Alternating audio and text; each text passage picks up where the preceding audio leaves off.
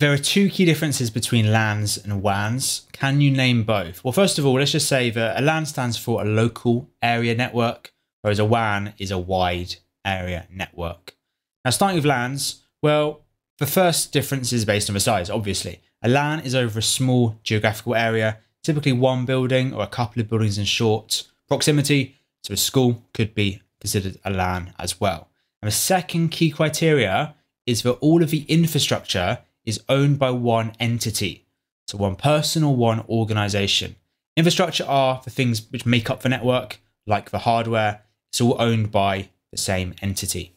Whereas a WAN is over a larger geographical area, so definitely quite a few buildings, quite separated from each other, and some infrastructure is shared. And the internet is our best example of a WAN.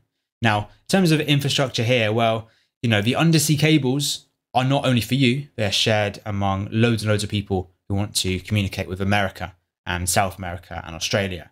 5G transmitters aren't just for you, they're shared amongst lots of people. Whereas in your home, which is a LAN, your family own all of the stuff, not the case with a WAN.